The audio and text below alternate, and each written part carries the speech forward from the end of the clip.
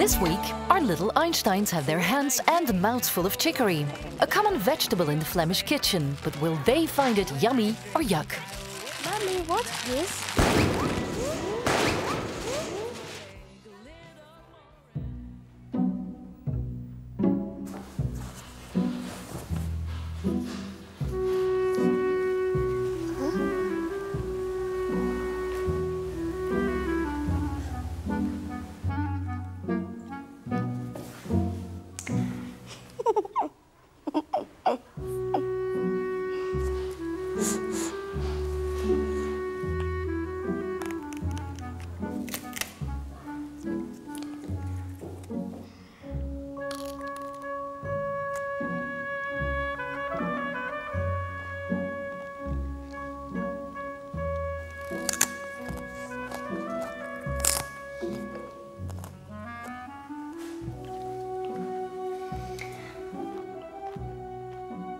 Beginning, it um, it didn't really yummy. It um, it uh, it's not very yummy.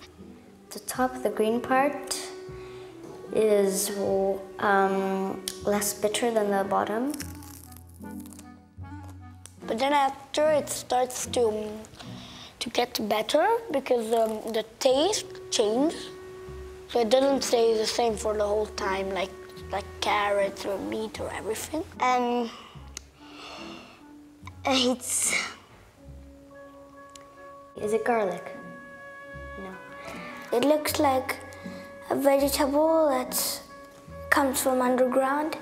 Like carrots, you pick them underground. Also, rabbits likes to eat it.